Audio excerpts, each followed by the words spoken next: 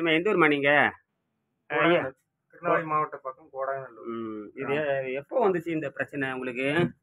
ரெண்டாயிரத்தி பதினெட்டுல இருந்து வந்தது. ம், ரெண்டாயிரத்தி பதினெட்டு இருந்தது ஆ. இப்ப எத்தனை கிலோ எடை இருந்தீங்க நீங்க? நூத்தி இருபத்தி எட்டு கிலோ. இப்போ தொண்ணூறு கிலோக்கு வந்திருக்கலாம் இல்லையா? ஆமா இருக்கலாம். தொண்ணூறு தொண்ணூறு கிலோ இருக்கலாம். நூற்றி இருபத்தெட்டு இருந்தீங்களா? ஆமா.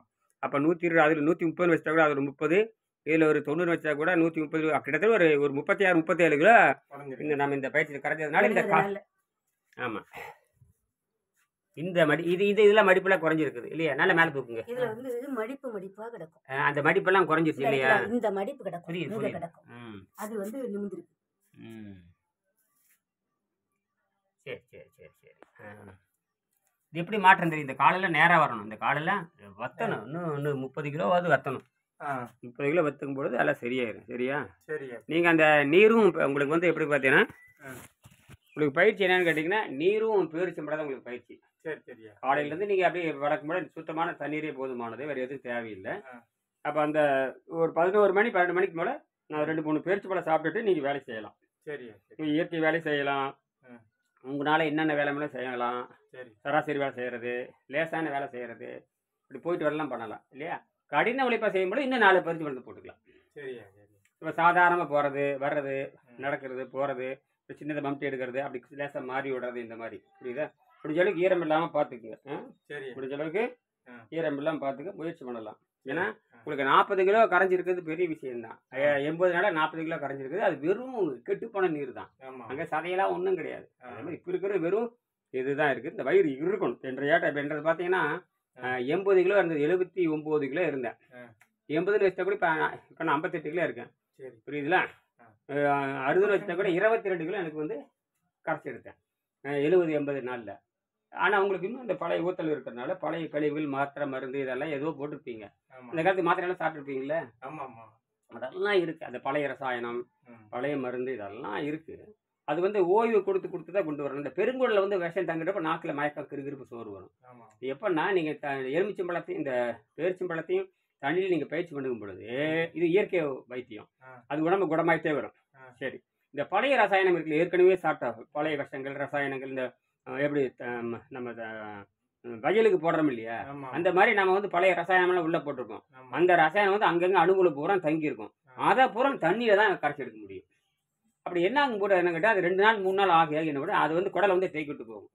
பெருங்குடல் இருக்கு இல்லையா? நம்ம சிறுகுடல் இருக்கு பெருங்குடல் அதில் வந்து தேக்கிடும் அந்த தேக்கி அந்த அந்த அந்த விஷம் வளர்ந்துக்கிட்டே வரும். மெல்ல மெல்ல மெல்ல மெல்ல. நீரில் இருக்கிறது அந்த விஷம் வளர ஆரம்பிக்கும். அந்த விஷம் மேலே ஏறாமல் பார்த்துக்கணும். அந்த வாந்தி வர மாதிரி வரும் பொழுது நம்ம என்ன பண்ணோம்னா இந்த இன்னைக்கு கீரை வச்சிருக்கல அருமையான கீரை. என்ன கீரை அது? அந்த கொடுப்பங்கீரையோ அல்லது முருங்கைக்கீரையோ அது என்ன பண்ணணும்? உப்பு போடாமல் நல்லா வணக்கி நீங்கள் வெளிக்கு போகாம சாப்பிட்டு நல்லா வேண்டி அப்போ வந்து ஒரு சப்பாத்தி வச்சோ அல்ல ரெண்டு ரஸ்க்கு வச்சோ அல்லது ரெண்டு ரொட்டி துண்டை வச்சு வயிறு நிறைய சாப்பிட்டோம்னா இந்த பத்து நாள் செய்த அந்த நீர்ப்பயிற்சியின் காரணமாக உடம்பு வந்து அந்த விஷத்தை வெளியேற்றுது அதுக்கு வந்து பெருங்குள்ள தங்கி வச்சுருக்கோம் நாம் என்ன அது செயற்கை அதை வெளியேற்றணும் அப்போ அது செயற்கையாக தான் அது வெளியேற்ற வேண்டியது இருக்குது. இயற்கை இந்த வேலையை நம்ம பண்ணுறோம் தொண்ணூற்றி எட்டு விழுக்காடு அது வேலையை பண்ணிட்டு ரெண்டு விழுக்காடு வேலை என்ன பண்ணணும் கேட்டிங்கன்னா நாம் அந்த அதுக்கு உதவி செஞ்சு அந்த அசுத்தத்தை வெளியே தள்ளி விடணும். இது எளிமையான முறை. மற்றபடி அது உடம்பு ரிப்பேர் பார்த்துட்டே இருக்கும். எந்த அளவுக்கு வயிற்றுக்கு ஓய்வு கொடுக்குறீங்களோ அந்த அளவுக்கு இது வேலை நல்லா பார்க்கும். வயிற்றுக்கு அந்த பசி உணர்வோடு லேசான அதை தொண்ணூற்றி எட்டு விழுக்காடு பசி இருக்காது. தொண்ணூற்றி எட்டு விழுக்காடு பசி இருக்கு அந்த- எனக்கு அப்படித்தான். ரெண்டு விழுக்காடு இந்த ரெண்டு விழுக்காடு விட்டுட்டோம்னா அது எல்லாம் ரிப்பேர் பார்க்க ஆரம்பிக்கும். பழுது பார்த்து பாருங்க இதை கெட்டு போனது பூரா குடலை தள்ளிட்டு போயிடும் இங்கே இந்த பெருங்குள்ள தள்ளிடும் எத்தனை நாளைக்கு தள்ள மூணு நாள் நாலு அஞ்சு நாள். ஏ, அது எப்போ கண்டுபிடிக்கலாம்னா அந்த தண்ணி குடிச்சா இனிமேல் எனக்கு குடிக்க வேண்டாம்னு சொல்கிற அளவுக்கு அந்த விஷம் வந்து மேலே நிற்கும் எப்படி வந்து மேலே நிற்கும் தண்ணி குடித்தாலும் கூட விஷம் வந்து இந்த இப்போ தொண்டையில் வந்து நிற்கும் அப்போ சொல்லு அப்போ என்ன பண்ணலாம் தெரியுமா? புதுசேலத்தனமா உடனே முருங்கைக்காயை என்ன பண்ணணும்? இந்த முருங்கைக்கீரை அல்லது முருங்கைக்காய். முருங்கைக்காய் இருந்தாலும் சாப்பிடலாம். முருங்கைக்காய் ரெண்டு ரெண்டு மூணு முருங்கைக்காய் எடுத்து பொடி பொடியாக நறுக்கி குக்கரில் போட்டு அப்படியே சத்த விடணும் நல்ல நுங்கு மாதிரி கரைஞ்சிடணும் குக்கரில். அதை எடுத்து ஒதுக்கி விட்டு போட்டு அந்த தண்ணி மட்டும் குடிச்சா போதுமானது. குள குளன்னு இருக்கு மஞ்சள் அருமையாக இருக்கும். என்னது? சாப்பிட்றதுக்கு நல்லா இருக்கு ரெண்டு வெங்காயம் போட்டு அப்படி சாப்பிடலாம். அல்லது முருங்கீரை வச்சு சாப்பிட்டோம்னா அந்த அசுத்தம்லாம் வெளியே போயிடும். இந்த மாதிரி வாரத்துக்கு ஒருக்காவோ எட்டு நாளைக்கு இருக்கும் உங்களால் எந்த அளவுக்கு மன வலிமை இருக்குதோ எந்த அளவு?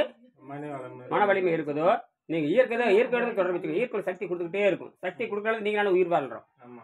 நாம இந்த பழக்கத்தில் மாட்டிட்டோம் அந்த வேலை பழக்கம் இந்த வேலை பழக்கம் அதுக்காக சாப்பிட்றேன் இதுக்காக சாப்பிட்றேன் அங்கே போனால் சாப்பிட்டு இவன் சேர்த்து போயிட்டான் அவன் சேர்த்து போயிட்டான் அவன் இடம் கருமாதி இதெல்லாம். தப்பு தப்பா கணக்கு போட்டு போட்டு போட்டு உடம்புக்கு எடுத்து விட்டான். மனம் தான் அங்கே போகணும் இங்கே போகணும் சொல்லுதே தவிர உடம்பு ரிப்பேர் ஆகுது. மனதுக்காக சாப்பிட போய் உடம்பு என்ன போகுது கெட்டு போச்சு. அப்ப மனம் சந்தோஷப்படுது உடம்பு என்ன ஆகுது? கெட்டு போகுது. மனம் மகிழ்ச்சி எடுத்து தண்டனையா இருக்கு உடம்புக்கு தண்டனை. புரியுதா? மனதுக்கு மனதுக்கு மகிழ்ச்சி தண்டனையா இருக்கு? ம- உடம்புக்கு. உடம்பு அதனால ஒன்றும் பிரச்சனை இல்லை நல்லாயிரும். அதில் ஒன்றும் பெரிய விஷயமே கிடையாது. சரியா. சரி. உங்களுக்கு ஒரு சொற்ப கட்டணம் சொல்லியிருக்கு அதை மெல்ல மெல்ல கட்ட முயற்சி பண்ணுங்க. சரியா? ஆமாம்